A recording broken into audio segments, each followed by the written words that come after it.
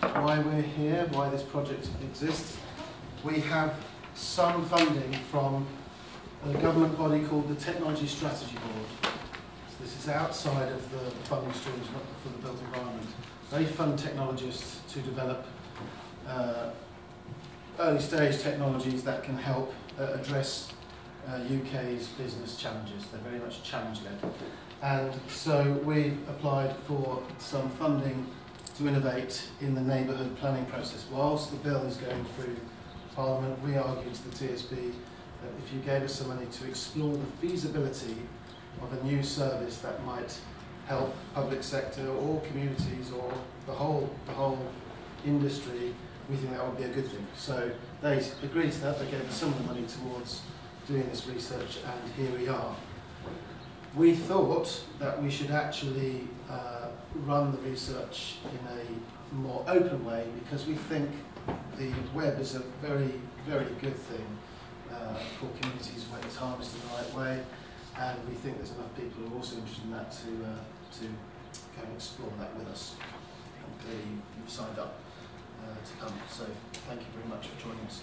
Um, we partnered with Sticky World, which I'll tell you about in a minute. So Slider Studio, that we, we're basically a group of architects. So people from Slider Studio here, we have Imogen in the corner, uh, who's an architect, uh, Monica, who's a multidisciplinary designer, Lorna, who's helping us on the PR and marketing, and we have Rene, who also works Slider, he's here representing Sticky World today. Sticky World is probably our best democratic design tool to date, and we've spun it out as a separate company. Um, it's really a, a web platform for presentation, dialogue, and decision making. Remy's here who can give anyone who's interested a, a, demo.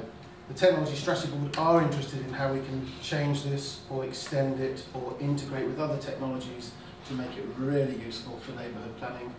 Uh, but we're all, all already working in community consultation with it. Um, good examples in London, Westminster of its use. So the two companies are collaborating formally on this on this project.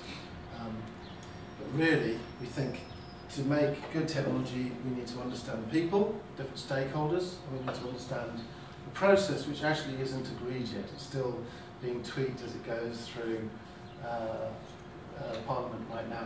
Can I have a show of hands of who is who knows about neighbourhood planning?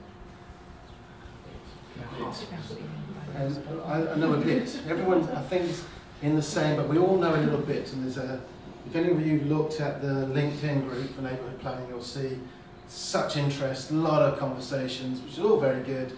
But still, there's, you know, it started, I think, where you could have three people to form a neighbourhood forum, and the big joke there was it's a builder, an architect, and uh, who was the other one?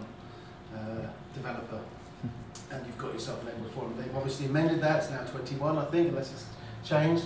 So it's this, it is a, it's, a, it's an evolving, evolving uh, act of Parliament, which, which apparently will be enacted in spring 2012, and our job is to try and follow it and to see if there's something that we can do can really uh, help that process as it's actually being agreed. So we're going to talk about process today. There's a picture of this in your um, handouts. We're going to actually talk about it in a much simpler way, we can come back to this at the, at the end. Uh, so today is about process.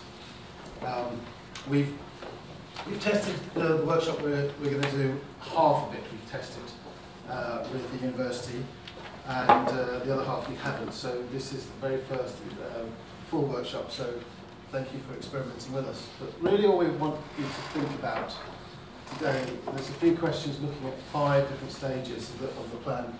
There's a start-up stage uh, in neighbourhood planning.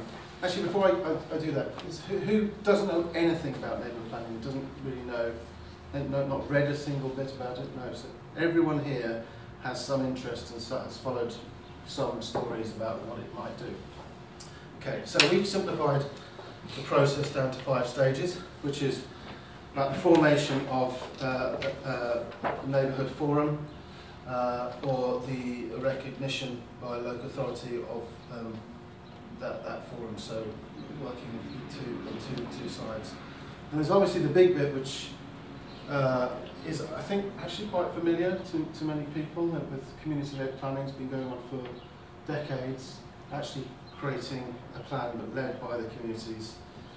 Um, the, bit, the next bit then is about examination, i.e. let's check that this plan conforms to policy, it is a plan for growth, not NIMBYism, before we invite everyone to have a vote on it, to the referendum stage, and then assuming there's 51% say yes, this is great, let's do this, let's adopt this plan, then the local authority adopts it, and that might lead to a different type of action uh, following the, the, the publication.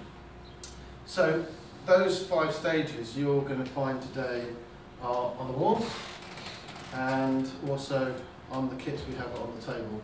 And really all we're looking to do is to share some insights and ideas. So we actually, really simply, we're writing on sticky notes today and we're putting them into context in the process. We're thinking about process and thinking about good things, bad things, opportunities, tools from the web that exist, tools that uh, may not exist, ideas that you just have. And the other thing that was really important to this whole process is we're looking for this, what we call 360 view. And this is where we're considering who, this is really in, in terms of a software company, we're thinking who is, who are the customers? Yes, everybody is the customer, the community at large is a customer, but, or they're users of the software, but the people that really can inform development and adoption of tools, whether it's the tools we're building or the tools that are out there already, community leaders, they need tools that can help them achieve their objectives. Local authorities we call supporters because the bill calls on that. They have their duty to support this process at different stages. And professional advisors, I would include builders, I'd include architects, urban designers, professional uh, facilitators, community engagement professionals, everybody else. Uh, it's really about turning planning on its head, these two parties, uh, and then the others still have all the, the, the expert knowledge to support the different parties. So we need to think in those terms, and that's why we split you into three groups. Hopefully you're roughly in a group that relates to what you do. If you're not, don't worry, we can still benefit from uh, imagining. And we are going to split things up. It looks a bit like this. It's pretty simple and fun, and it will go quite quickly. Rennie here is keeping time because we do want to finish by uh, 4.30, is it? Uh, and then we're going to share the results. Now we're doing this three times. So again here next week, and then once in London with uh, Design London, uh, and then we'll, we'll, be, we'll be publishing all the results. We'll be looking for other technologists, other companies that make web software to see if they want to come into the landscape for neighbourhood planning and do some good stuff with us. Uh, and we'll probably be going back to the TSB to say, we've got some ideas. Different people said, this is going to be a good idea.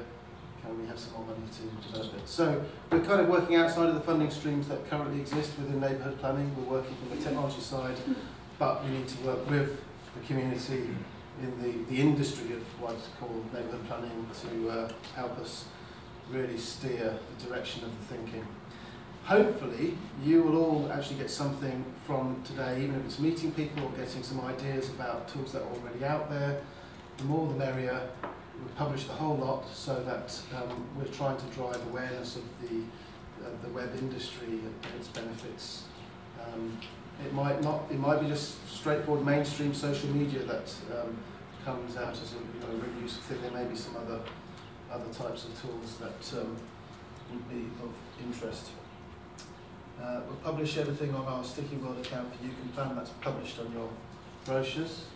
And I think I'm going to hand over to Imogen to talk about the plan of day, unless there are any questions now. Anybody not sure about any, anything in the context of what we're doing? You can't, what I would say is you can't possibly make a mistake writing anything that comes into your head on a sticky note. Sticky notes are sticky, they can be picked up and moved, they can be scrunched up, it really doesn't matter. The key the key thing is to uh, have some have some thought about any ideas and start engaging with what's effectively quite a quite a complex process from the from DCLG's point of view, and we're trying to trying to simplify it in, terms of who's who's leading at which stage and uh, how, how can uh, how can any problems that we might find be eased through use of good technology. Imogen.